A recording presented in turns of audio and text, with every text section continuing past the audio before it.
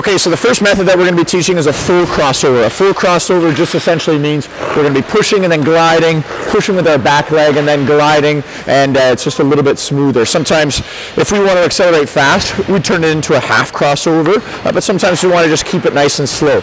Most important part to any of these starts, the full crossover or the half crossover, is your butt should not be facing where you want to go. When we skate backwards, we're actually skating sideways. So I want instead for your hip to be facing where you want to go. I'm constantly telling kids, you know those toys where you wind up the backs and then they start to walk. Um, just imagine as if your legs are the same sort of way. We need them bent and we need them lined up with where I want to go. Once I line them up, it's almost like I've wound up that toy, I've wound up my legs, and now they're ready to go. So now we're going to start uh, with a full cross, uh, full C cut. Nice big C cut with your right leg. As you're gliding back, begin to open up your hips, cross that leg in front, and then do an outside edge kick.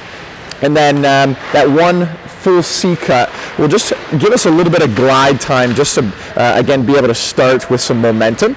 A lot of players, they actually forget the C cut, and instead of doing the C cut, then the crossover, and then an outside edge kick, they actually just do a crossover and then a kick. Or their C cut's actually quite small, and it's just a little bit choppy. So we want to make sure that even if it's a half crossover, there is a little bit of a C cut just so that we can get that grip and uh, we can actually turn uh, the C cut into a thrust, into a stride, into a push, and we can actually gain some momentum into it. So here, watch this. My hips are going to be facing in this direction.